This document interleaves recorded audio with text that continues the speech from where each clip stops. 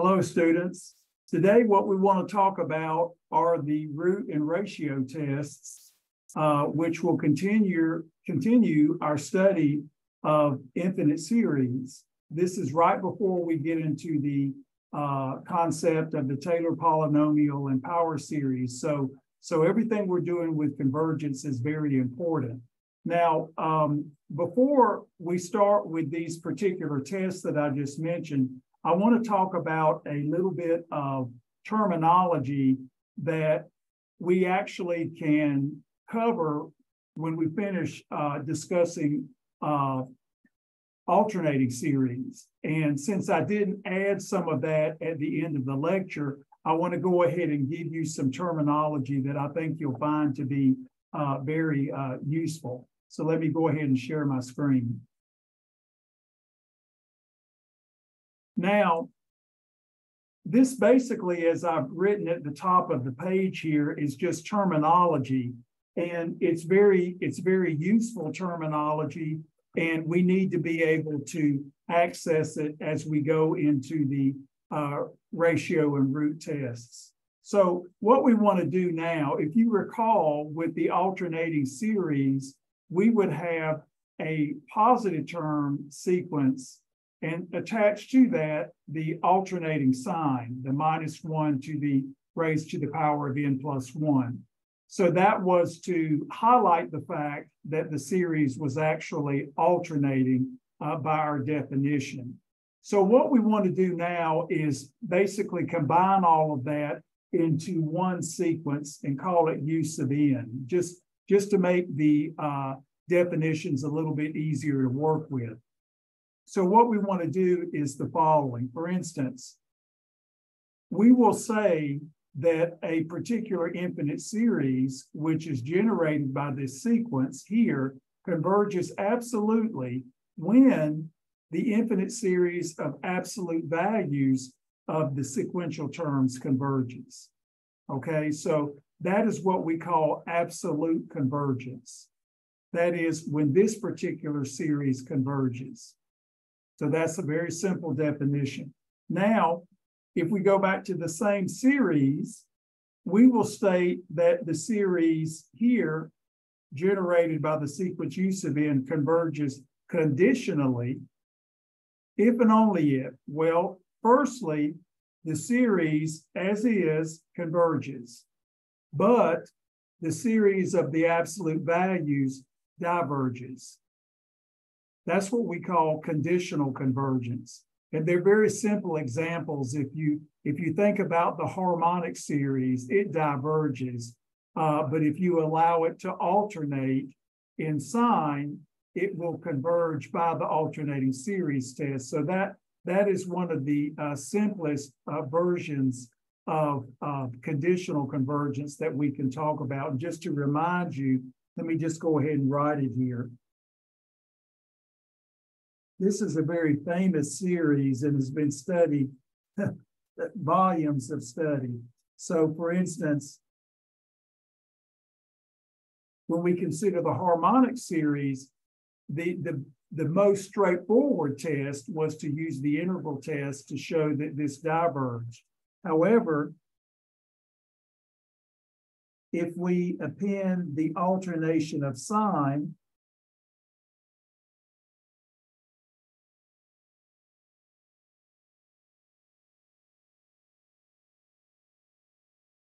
As the alternating series, this series converges by the alternating series test. So this would be our original series. And then, of course, if you place the absolute values, the, the negatives absorb and you result with the standard harmonic series, which diverges. So this makes an excellent example of a conditionally convergent series. And so you can see how you can look at the P series and make some nice examples of that. So, so again, this may not seem that important right now, but the next test that we study will include the absolute value in the test.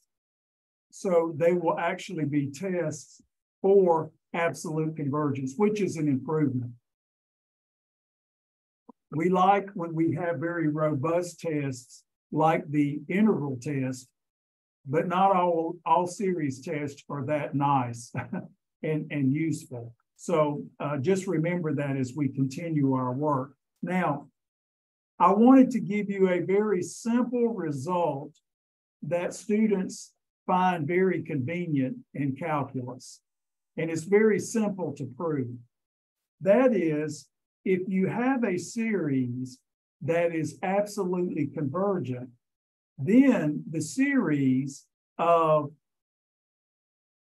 terms that are added without the absolute value also converges. So, so I guess the term absolute convergence is, is very powerful sounding.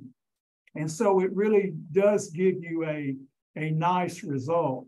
That is, if you have this, now it might be that the, the absolute values don't make any material change. Maybe the sequence does not alternate in sign, but clearly if it does have sign changes, not necessarily alternating, if you remove them, the series without absolute values also converges. So, so what, what's interesting about this is that when we make this original definition here, this is just simply a byproduct. That is, if we just keep thinking about what this means, um, do we get additional information? And we definitely do. So, so the absolute convergence is very powerful. And why would it be? I mean, you know, you think about you think about little epsilon channels when you study uh, limits and uh, sequences of functions, and you think about, you know, the absolute value is, is being a nice little channel that holds all of the good stuff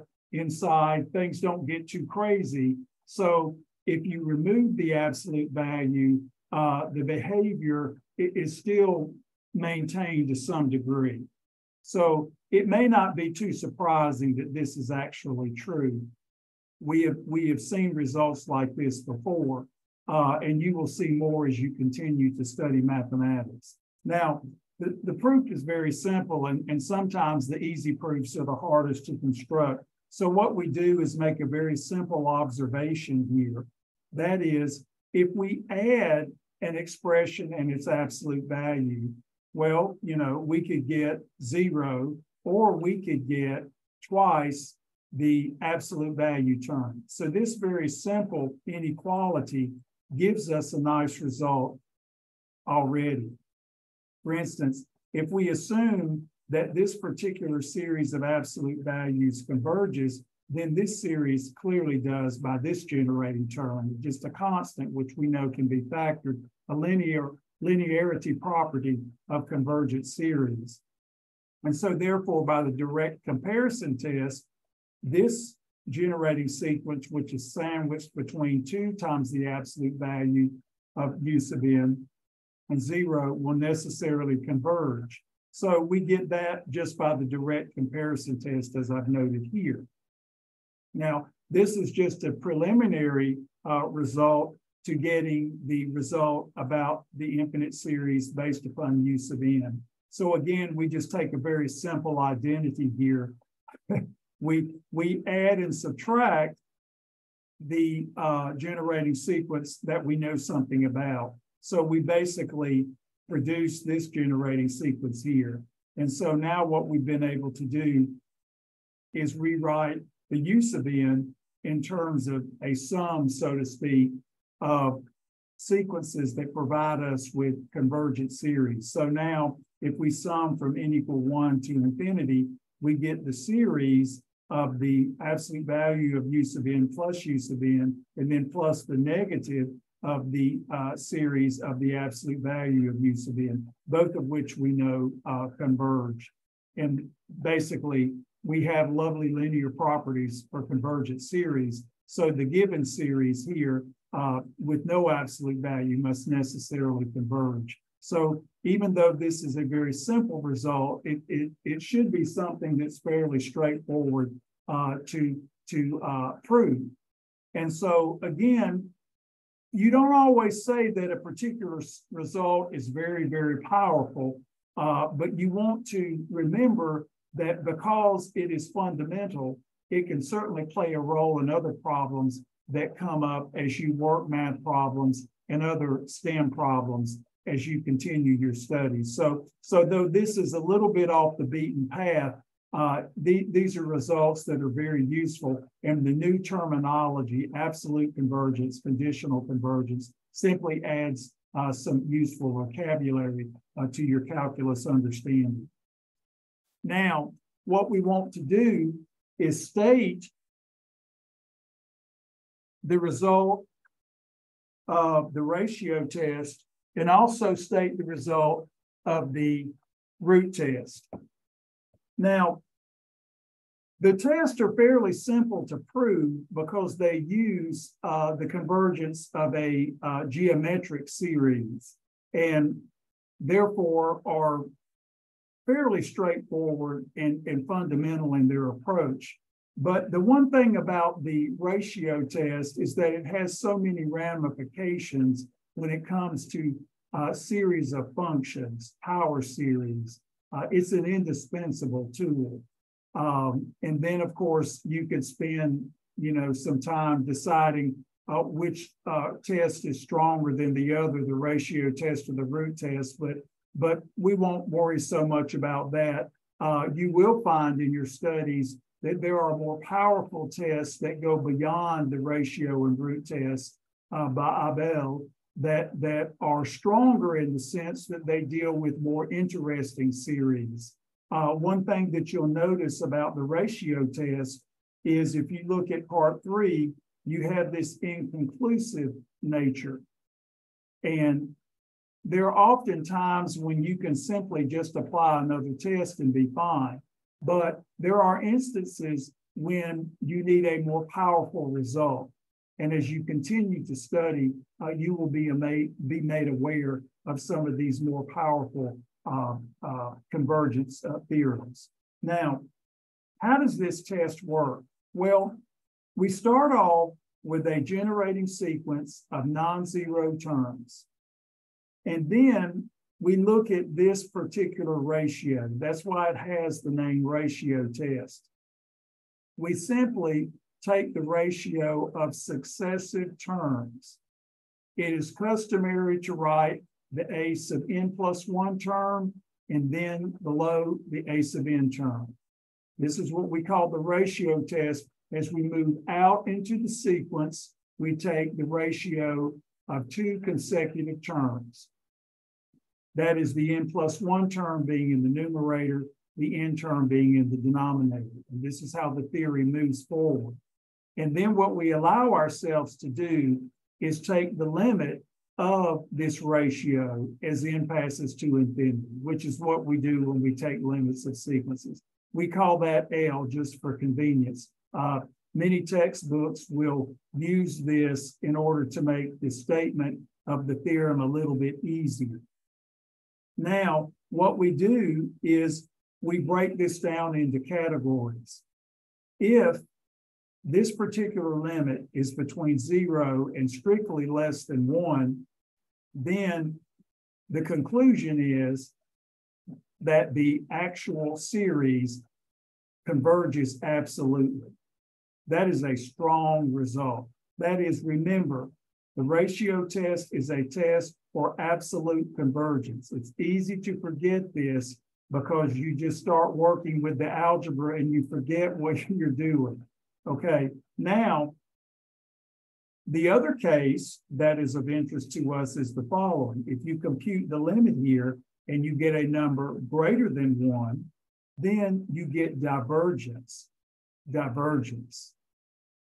So you can look at this test and think, well, hmm, what would be convenient for ratios? You know, if you've got powers, if you've got factorials, when, when, when you have many factors that would absorb and leave you with just a few factors, maybe the limit will not be that difficult to compute.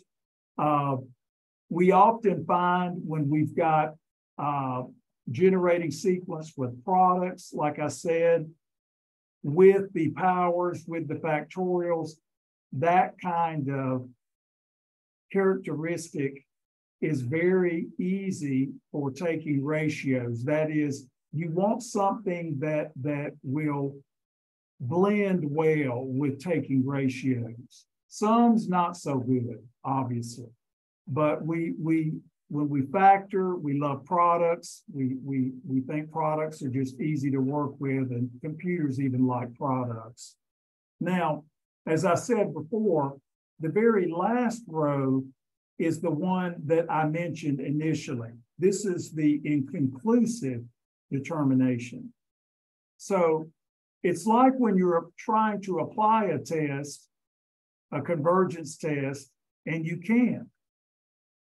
You don't get a deduction. You can't say, well, it doesn't apply, so it must diverge. Well, no, that makes no sense. the test either applies or it doesn't.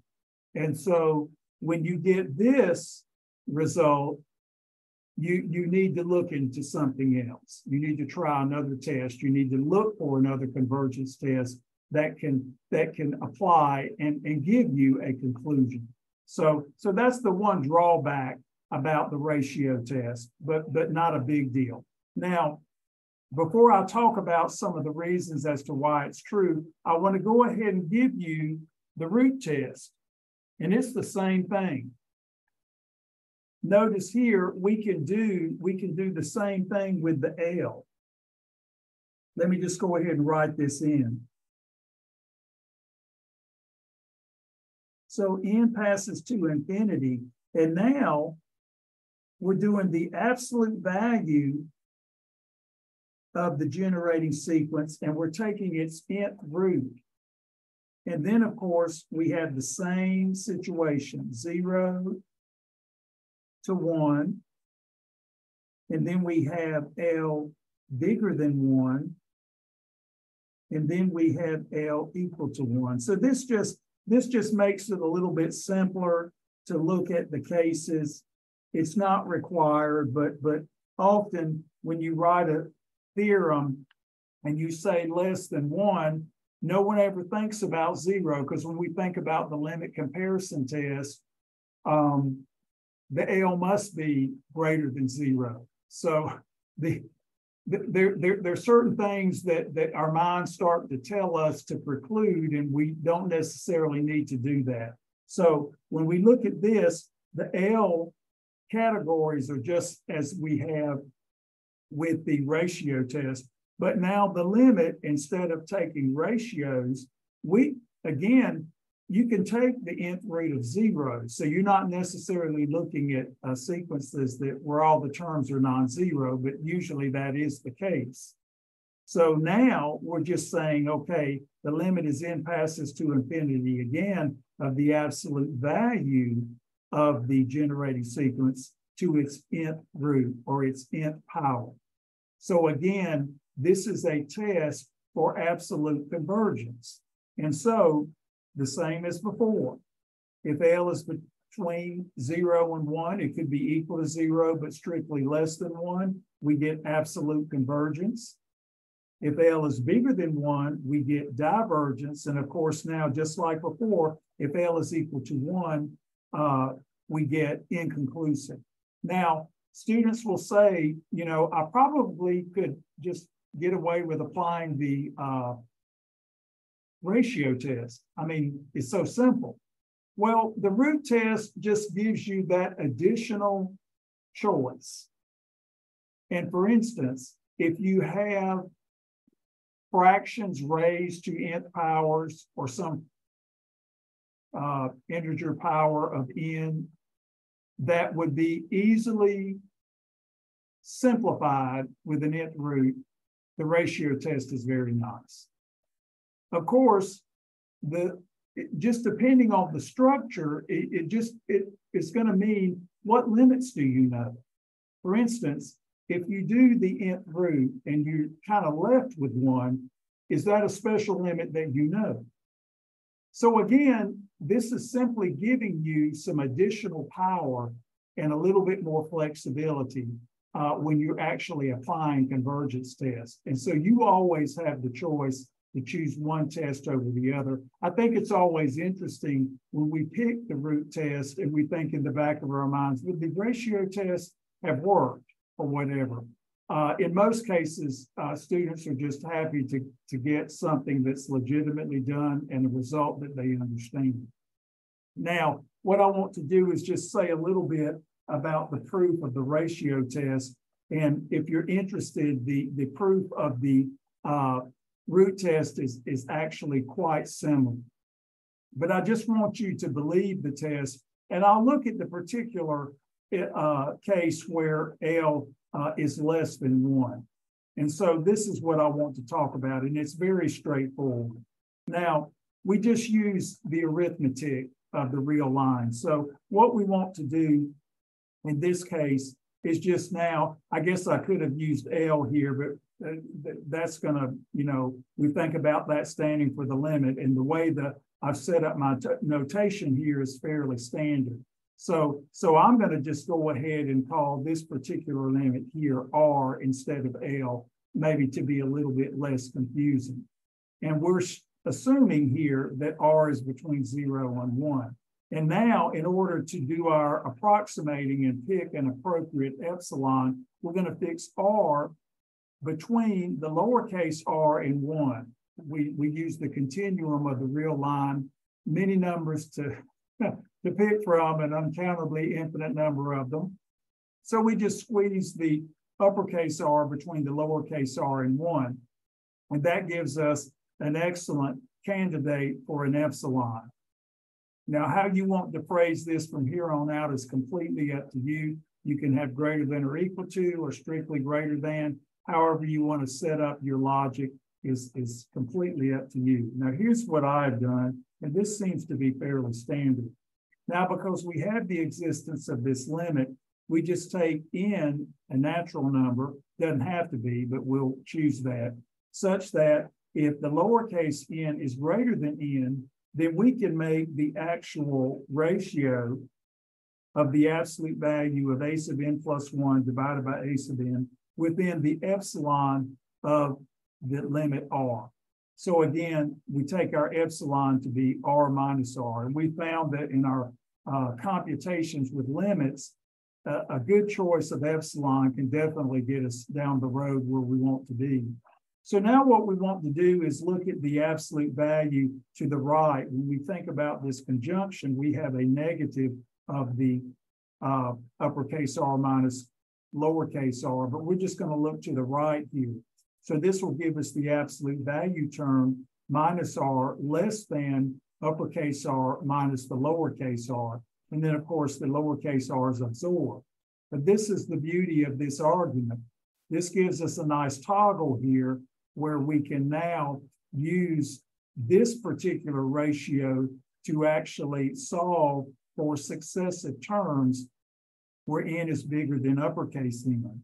So now if we just quote unquote solve, we see that the absolute value of a sub n plus one, here we're referring to the uppercase n, will be less than r times the absolute value of a sub n. But then we just iterate the process.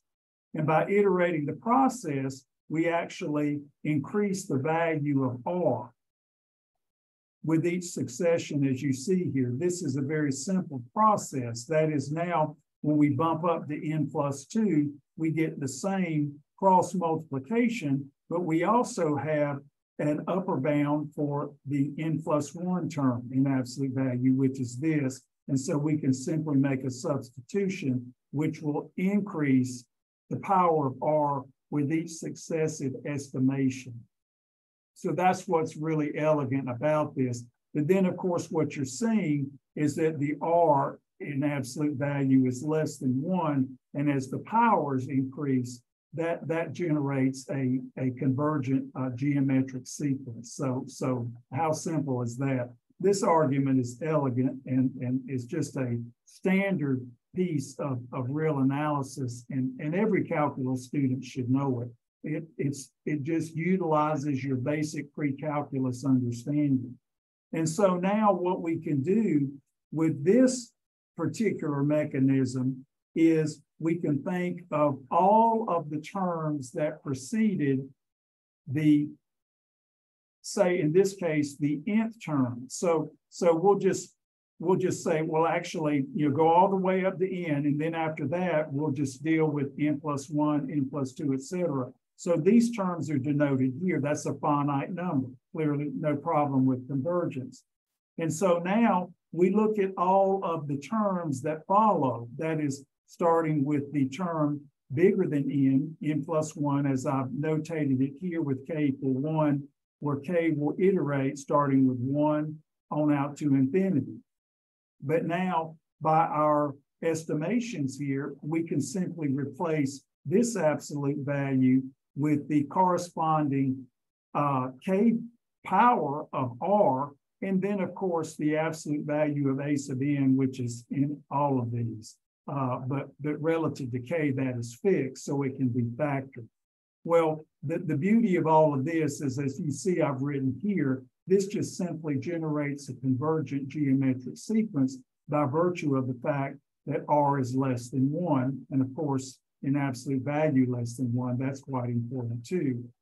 So we have finite and finite. We have a, a number here that's non-infinite.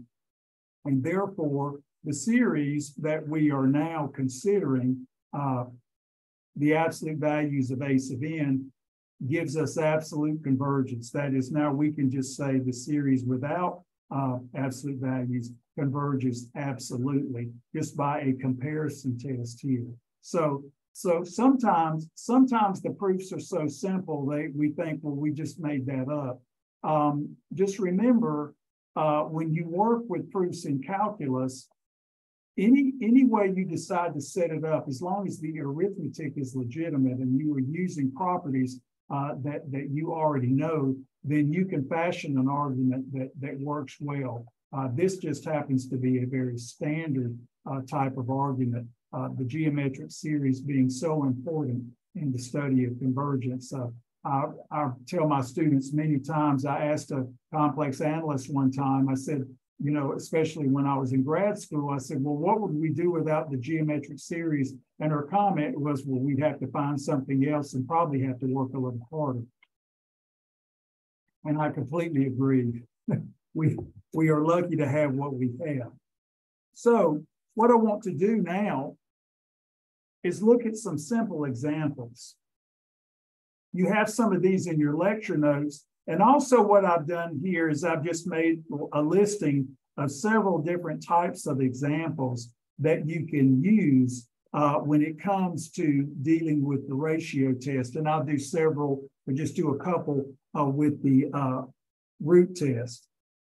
Now, like I said before, these are not difficult and and how it's like doing an improper integral, okay, or doing a definite integral. Do you break the problem down into pieces and work on each piece, then put it back together? I mean, sometimes when I'm teaching integration, I'll just focus on the, the big F, the antiderivative, get that nice and clean. And if I need to evaluate it, I can do that. Or if I need to pass to a limit because I have an improper integral, I'll do that. And how you want to fashion this is completely up to you. What I've done here is I've tried to drag along the limiting process uh, with the, the execution of the problem. Now, again, if you don't care to do that, you are certainly fine to look at the ratio and then move that computation back to the limit this just doesn't seem to be as, as busy as working with integrals. Again, your choice. I just think that this is okay to do, but you simply utilize a technique that will help you keep your work organized. Now, notice this particular series here.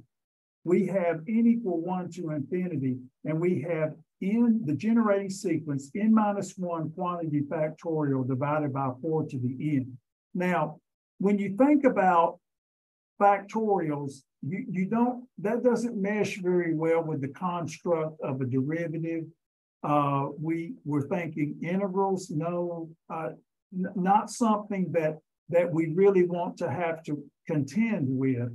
Um, there's certainly ways to to work around things when when that is required.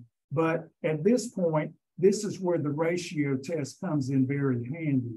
So notice, like I've said before, we have the existence of factorials and we have the existence of integer powers. And so this really just says ratio test. So what we have is this is our a sub n.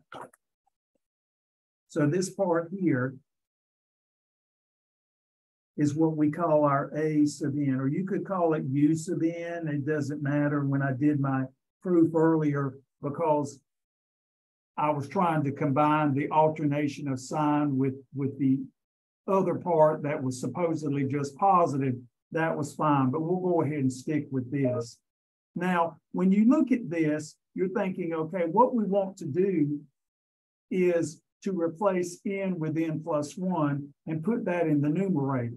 So that gives us, replacing n with n plus one will just leave us with an n factorial. And then of course, four to the n plus one. So that again, replace n with n plus one. But now what we want to do is to divide by a sub n. Now, what I usually tell students, instead of writing a complex fraction, it might be a little bit simpler just to invert. And let me go over here and uh, close my uh, email so it doesn't ding every time I'm trying to speak to you. So now, again, like I said before, just go ahead and reciprocate instead of writing the complex fraction. Now, what I tell students is to, at this point, pair, pair the common terms. That is, put the factorials together, put the powers of four together. And notice what I've done here is I've written four to the n plus one is four times four to the n. Now, one thing that you might notice here, and this is very important, n factorial by definition is just n times n minus one factorial. I'll go ahead and write that out since I didn't write that there.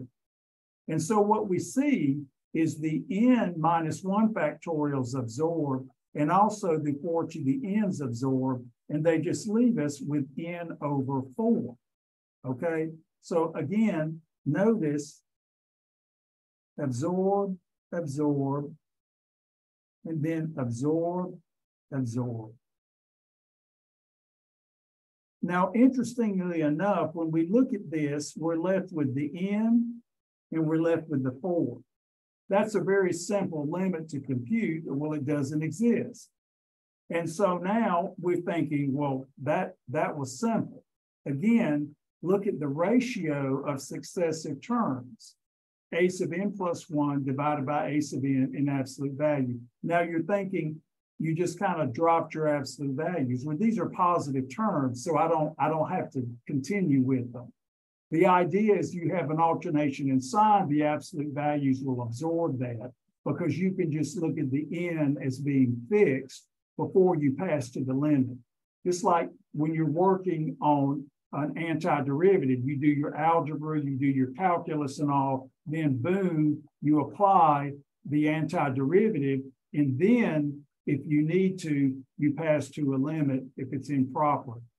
So again, remember, do all of your work and then let n pass to infinity. Now, of course, since this does not exist, this means that the given uh, series diverges, which is not at all surprising. The factorial function becomes very large very quickly, and it even overpowers the power functions, if you can believe it. Again, not very surprising. Now, another thing that you might be thinking um, you can always look at the nth term divergence test. For instance, you know if a series converges, its generating sequence must have limit zero. And when you look at this particular example, you have n squared and you have five over six raised to the nth power. And you're thinking, you know, this five over six is less than one as the n gets larger and larger. That will overtake the n squared. Well, you don't have to look at that so much as doing a uh, proof. For instance, you're thinking, do I, you know, do I break this up and try to use L'Hopital's rule or whatever? Um, you can often just say, okay, that looks reasonable and just move to the uh, ratio test. But if you want to investigate this further, please go ahead. I think you'll find it to be very interesting. But just remember, just remember, once you've convinced yourself that the limit of the generating sequence is zero, that doesn't get you off the hook, as you well know. You still have to check for convergence. The thing is, is that any convergent series will have a generating sequence that converges to zero, but that has nothing to do with going in the reverse direction, as we well know with the harmonic series. So now what we can do is just do the n plus one, one term divided by the n plus first term, excuse me, n plus one term divided by the nth term. I don't need to say that twice. So now, if you like, we'll have n plus one quantity squared as we have here. And notice we have five over six to the n plus one that we have here. Again, this is not, we're just writing this as it exists as a product, so we're not really breaking it up into a fractional part, so it's kind of simple. And then, of course, the nth term is just as it is, n squared, 5 over 6 raised to the n power. Now, when you look at this, this is actually very simple. It's everything's already paired up.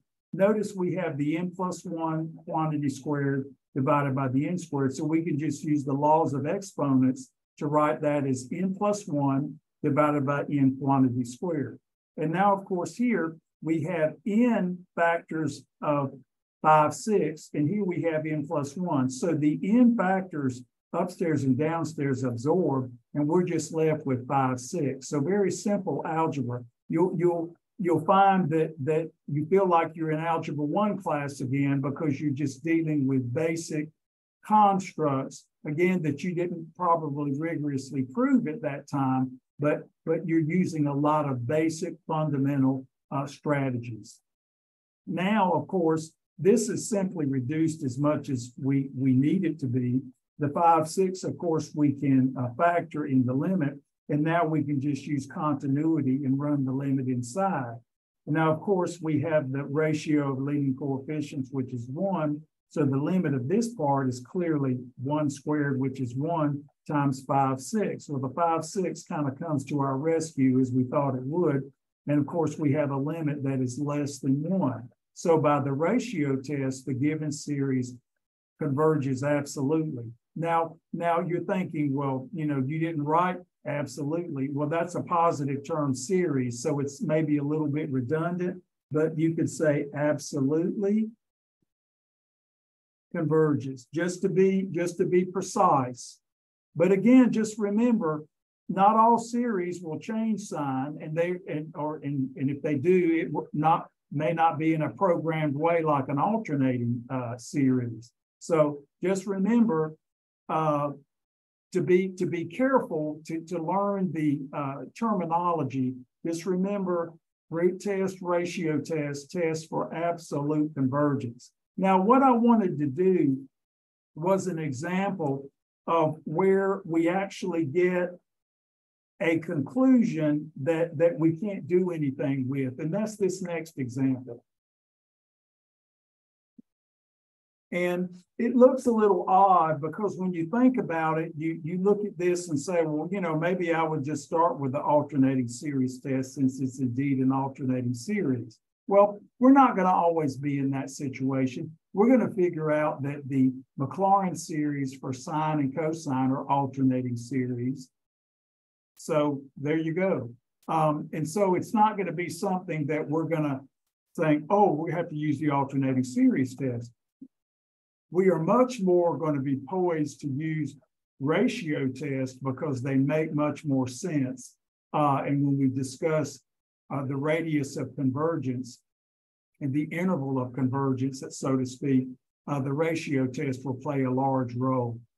But notice here, here's an alternating series. Here is our A sub n. So we're thinking, okay, what, what harm is there to apply the ratio test? So now the thing is, we start with n being replaced with n plus 1. So we have negative 1 to the n plus 2. N plus 2 becomes n plus 3. All of these we, we just uh, replace n with n plus one. So we have n plus one times n plus two. And now we divide by the original a sub n. Now, when you think about that, you're just flipping everything. So just put this on top, n times n plus two, and then of course, the negative one to the n plus one divided by n plus two. So just go ahead and reciprocate um, instead of writing the complex fraction. That, that just gets too tedious and, and you're apt to make many more mistakes if you do it that way. So take the time to, to think about uh, what I've said. I think you'll find it a little bit easier. Now notice, we just simply go through and see what can absorb.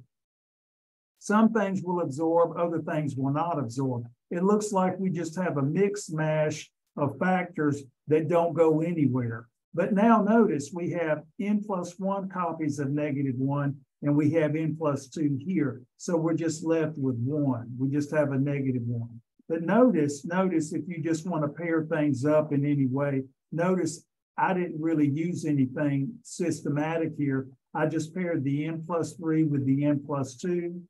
I just paired the, uh, looks like the n with the n plus two and then the n plus one with the n plus one. Notice this is like doing uh, uh, Riemann sums when you're uh, doing the integral via the limit of the Riemann sum.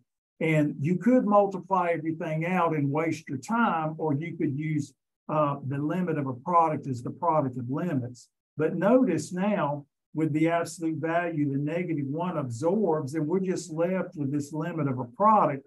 And what could be easier? We just have what ratio of leading coefficients? Well, these are all one, so the limit is indeed one. One times one times one, okay? Not surprising.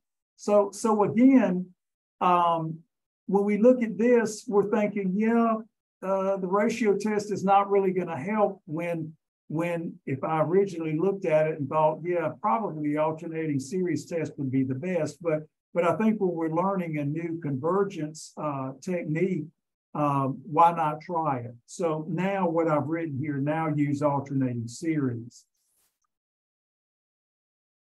So we're back to the, you know, the old song and dance. you know, it says need calculus, ratio test inconclusive, use another test, alternating series test. I always make these comments in my notes and and I have notes on my notes, you know. So what I try to do is share with you some ideas that don't necessarily come in the notes that you have online.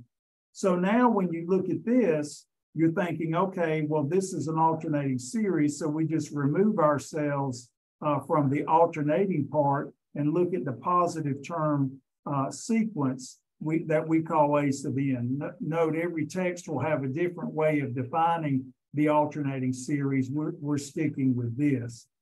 Now, when we look at this, we're thinking, oh, this is easy. You know, we can just go ahead and multiply here. And now, of course, we have a lower degree in the numerator, n tends to infinity. This limit is clearly zero. Well, for the alternating series test, we must have that the a sub n indeed has limit zero, and then we must show that the a sub n is non-increasing. Okay, so we've got monotonicity to deal with. So in, in some cases, depending on the problem you're working with, you can you can just do some simple algebra. But here, I think that won't work as well. For instance, I look at this and think about cross multiplying and, and, and then trying to look at how uh, we could actually work some algebra here. And then I'm thinking need calculus. The, the idea is that in many times the algebra is inconclusive. So what I would suggest is simply moving this into the real realm, that is x plus 2 divided by x times x plus 2.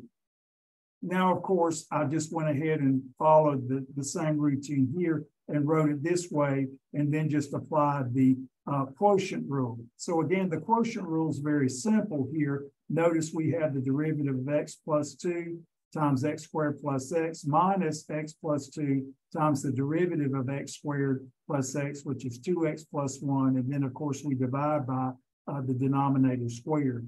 And so now here we have x squared plus x, and we just simply uh, multiply all of this out. Notice we have a 2x squared. We have the outer and the inner term, which gives us 5x. And then we have the last term, which is 2, all hit it with a negative, no negatives inside. So that was pretty simple.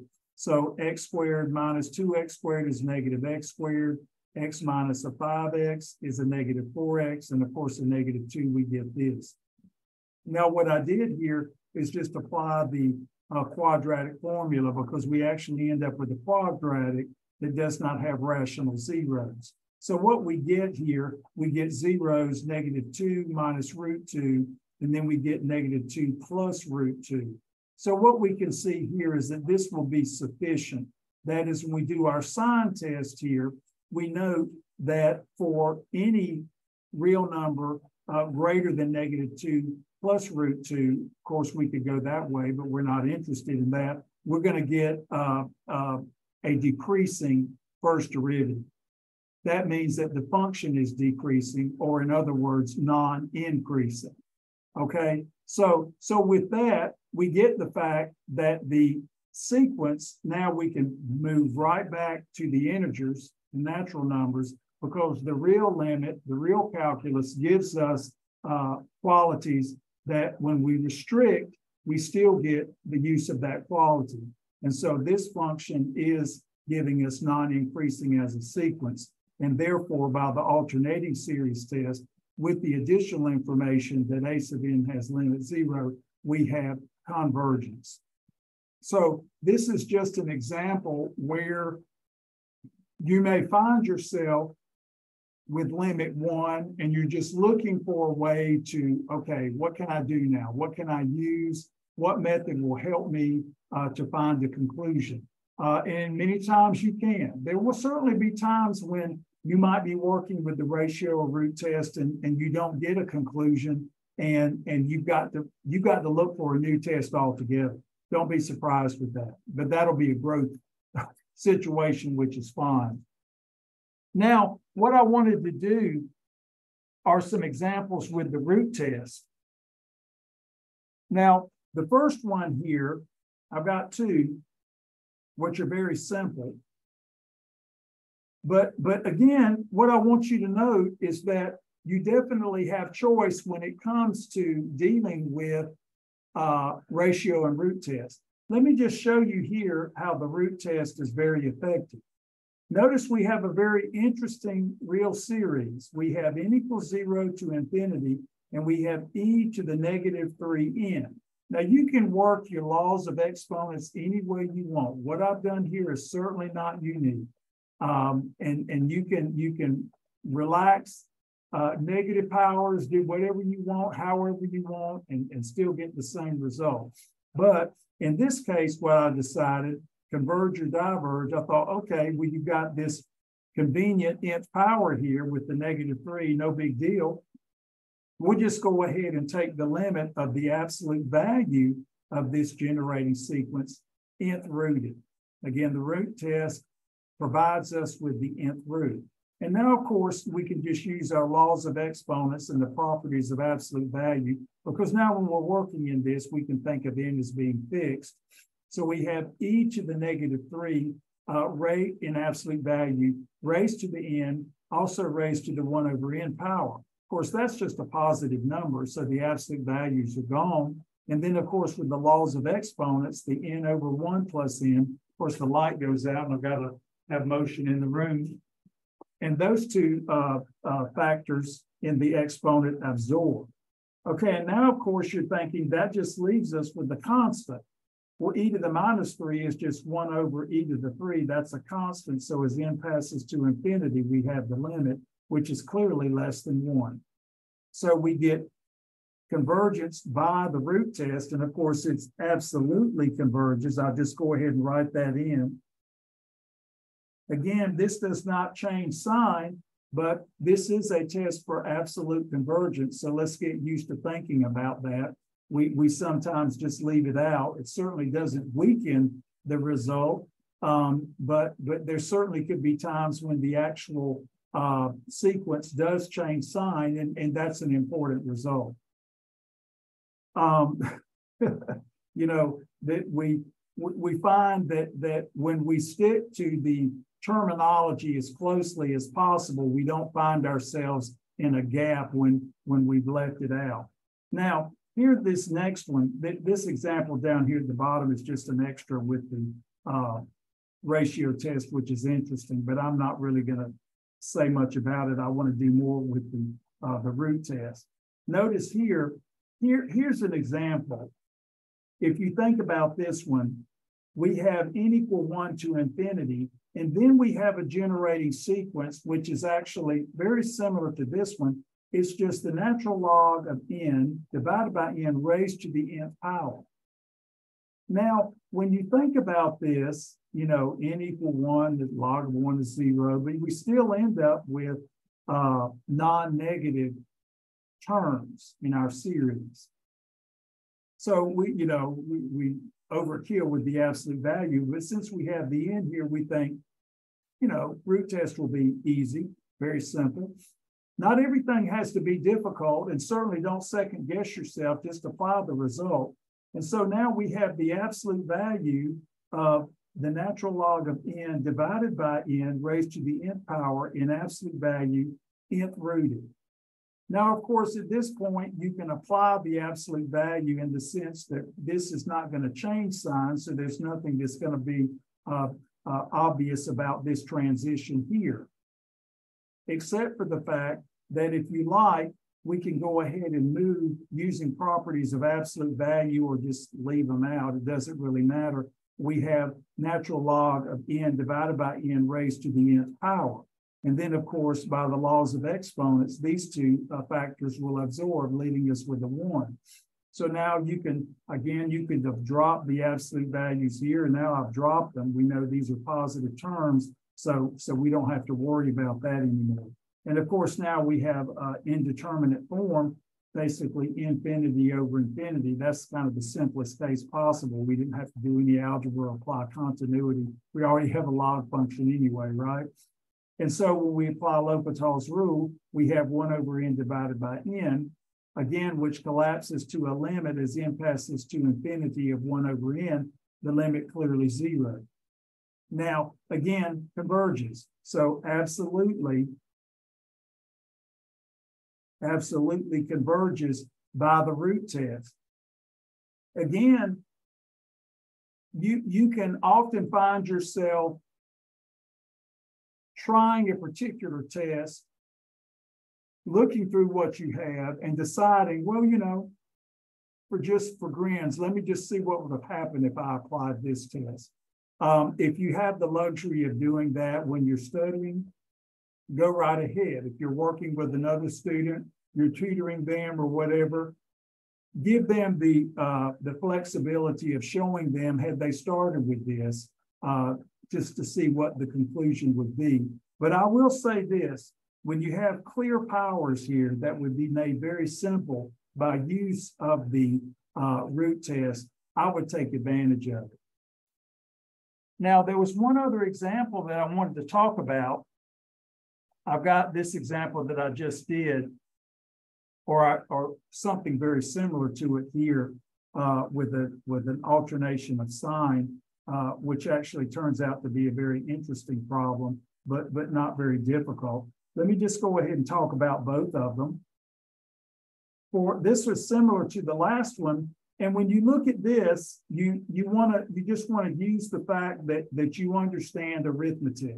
So notice here, we have a series that starts n equal to to infinity, okay, of negative one to the n divided by the natural log of n to the n, a very interesting real series. Now, of course, in both cases, we have powers of n. So, so you're thinking, why didn't they just write that, you know, as an umbrella n or whatever? I, I think the idea was just to kind of highlight the fact that this is alternating. And then, of course, if we start with two, uh, the logs are all positive, so no problem there. This is indeed an alternating uh, series. And so you're thinking maybe I could use the alternating series test, but you see all these powers of n and you're thinking, wow, this is really great for root test. So you simply do that. You place the a sub n, or in this case, we just call that the u sub n since it's got all the alternation of sign in it. Just make sure whatever you call it that you don't ascribe some other definition to it from another test. That would be a problem. So just say this includes everything. So we put this in the absolute values and raised to the nth root. And now we can just utilize properties of the absolute value. At this point, the way you navigate this is completely up to you. And as I write these problems out, it's just the way you might be thinking at the time. Nothing, nothing difficult, but everybody has a different way of interpreting things. So of course, the absolute value uh, of the uh, quotient is the quotient of absolute values. So at this point, we look at this as uh, n being fixed. And so we, if we have a positive sign or we have a negative sign, the absolute value certainly absorbs. So we're done with that. And then, then of course, uh, one or negative one to any power, the, the n's not going to matter. So that's just going to leave us a one here. So one raised to the one over n power, which clearly is one. And now, of course, in the denominator, again, we've got the same thing going on. We simply see that the n's in the one over n absorbs. And then, of course, we lose the absolute values because for these values of two uh, and greater, or values of n, two and greater, uh, we have a positive term with the natural logarithm. So we can retire that. So what I did at this point is just retire the absolute values. And then of course the n and the one over n absorb, leaving us with one over natural log of n. Now, of course, as n passes to infinity, n passes to logarithm of n passes to infinity. It's an increasing function. It takes its time, but it certainly increases as n passes to infinity. So this limit is clearly zero. Zero is less than one. So convergence by the root test, and we'll say absolutely. It's real easy to forget about that absolutely. So now, now of course, we, we have a nice result here. We know that this converges absolutely. So if we wanted to remove the alternation of sign and just write it as one over the nth power of the natural logarithm of n, that would also be a convergent series. So we could just say, using our theorem that we proved at the beginning of the lecture, n equal to, to infinity of one divided by natural log of n. And if you want, you can just go ahead and put the n right out here. you know, you don't have to leave it downstairs. That converges. And we get that for free. Because again, this is a test for absolute convergence due to the absolute values. And I'm not taking the absolute values lightly. You have to, you have to interpret the absolute values. But in many cases, it's quite simple and, and, and we like simplicity. But again, just think of the fact that that as we before we let in pass to infinity, we were envisioning this n as being fixed. And then that allows us to say, well, negative one to any integer power or any power for that matter is either one or minus one. And so in that case, we're thinking, okay, well, then we've got the, the absolute value of that, and that gives us one. And then, of course, when we have crazy powers of of, of you know, the bases. We, we can change the base to exponential. I mean, you can do whatever you want. Real analysis is, is, is fascinating and, and has so many elegant properties. And we have to remind ourselves that we can continue to use them, use them correctly, but use them. So now, again, that was a nice example. I just wrote something here about the fact that, that the natural logarithm is, is uh, an increasing function, um, uh, especially when you start in Cal 1 and you're trying to prove the properties of the natural log from the basic principles, or at least much more basic than you did in pre-Cal, which was not very good at all, but was the best you could do at the time. So now what I've got here, I think an interesting problem to conclude with. Now just remember, as we as we make our segue to power functions and polynomials and things of that sort, we can always replace x with a real number. And what we would want to do is to replace that x with the number for which the actual series would converge. And so that's where we're going to get the topic of interval of convergence. So if you have a series of functions, you're thinking, okay, well, if this particular series of functions will define an actual function, where does it where does it converge? What is its domain? So what we're going to do is start thinking of a convergent power series as a function with domain of convergence. And so the domain of convergence just basically becomes the domain of the function like we thought about in college algebra. But we, we find that the, the transition to power series revolutionizes the way we think about functions and it re revolutionizes our computational ability and then gives rise to how all these fancy gadgets that we've known throughout our lives called computers and calculators actually work. There's nothing magical about a calculator. It is a programmed piece of equipment that utilizes real analysis, the calculus, to do its computations. So, so calculus is here to stay. As I've said many times, it doesn't matter how how people will say, well, this is old, whatever, this is out of fashion. Well, it will never be out of fashion. The calculus is what runs our universe. The calculus is the language of, of science. It is the language of STEM. And, and we're kind of stuck with it. And even those that want to do finance have to know some calculus. You want to be a stockbroker, you want to work for an insur- insurance company, it is definitely going to be a part of your curriculum. So now, when I look at this, I just think about, you know, this looks so simple compared to what we've been doing, but I just wanted to end with an example. Now, just remember, regardless of what you have, uh, if you just got finite products divided by finite products, you use the ratio test, pretty much everything just goes away. It all absorbs except for just a few factors. So don't don't kid yourself and apply a root test when it doesn't make sense.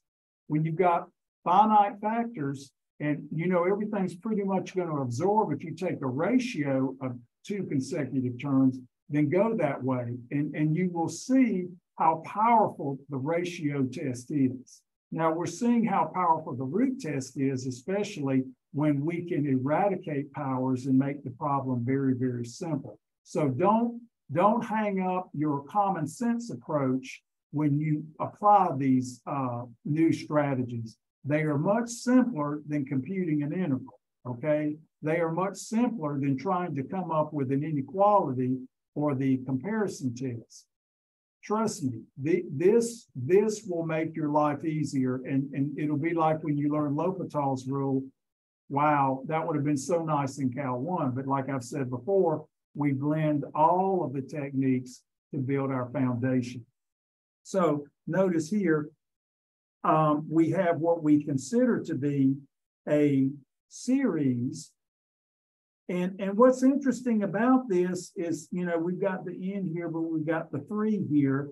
And, and, we, and we think about, you know, three, you know, you think, for instance, if we have um, say n equals two, I don't know, two times m, or n equals two times m plus one, where n is m is a natural number. Okay, and then you say 3n, that's 6n, that's even.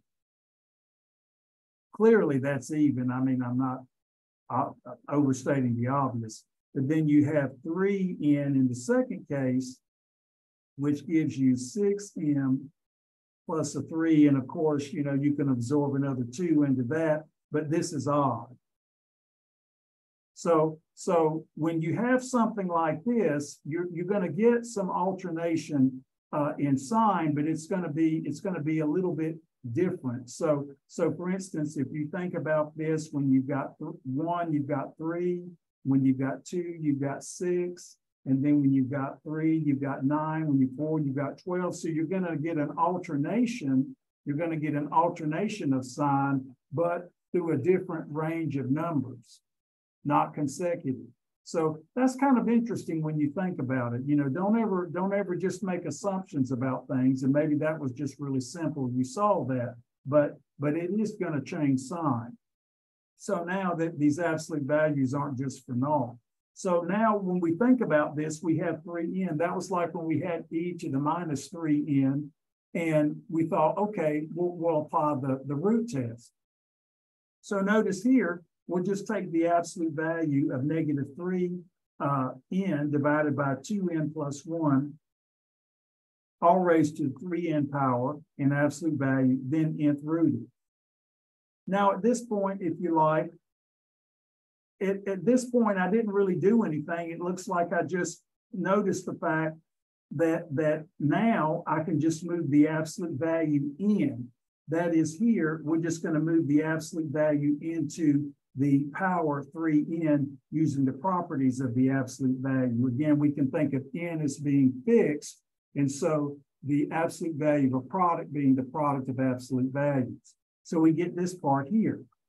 Now, of course, we've got negative one times this fraction. Again, the fraction itself is positive. And so again, the absolute value of a product, product of absolute values, the negative absorbs. So just remember, just very simply, when you had the absolute value of xy, this is just the absolute value of x times the absolute value of y. We use that without thinking about it. But sometimes it's good just to go back and do a simple problem and remind ourselves that even if we get a little sloppy here, we're most likely going to be right on. But don't don't go so fast, or if you're trying to help someone with this, be be a little bit more descriptive as I have been about why you do certain things, uh, because this tends to be a point where students falter uh, because these these properties have gotten fairly rusty. And so now when you look at this, we've got a very simple situation. We're back to calculus one. Well, all this is calculus one anyway. And so now we can move the limited process inside by continuity. So we have the limit as n passes to infinity of 3n divided by 2n plus 1 raised to the third power. And of course, now we're back to pre-cal. Ratio of leading coefficients will be this 3 halves. And of course, 3 halves, well, we could stop there, but when we cube it, we get 27 over 8, which is clearly bigger than 1. So now the series diverges by the root test. So what, what I want you to be aware of here in these types of problems is that you've got a lot of mechanical work to do. It's kind of like basically if you, if you think about the third test where you were doing the Weierstrass substitution or trigonometric, tri trigonometric substitution or partial fraction decomposition, those techniques are, are tedious in that there are lots of pieces. And every piece is important for the next part. I mean, everything comes together.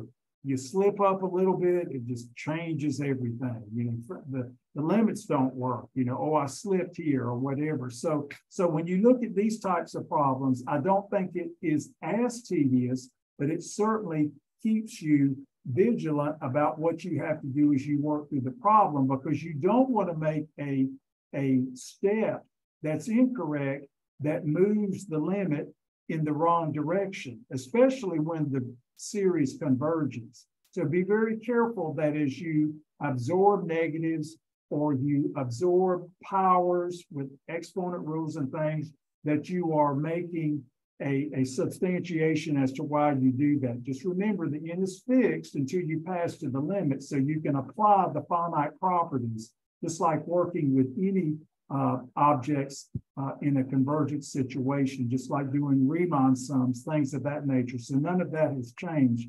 But I hope that you find that the, the ratio test and the root test are, are fun, and it certainly will help you to, to fine tune your algebraic skills, even though I'm sure they're quite good as they are now. Um, we will continue this process with Taylor polynomials, power series, and then representation of functions via power series.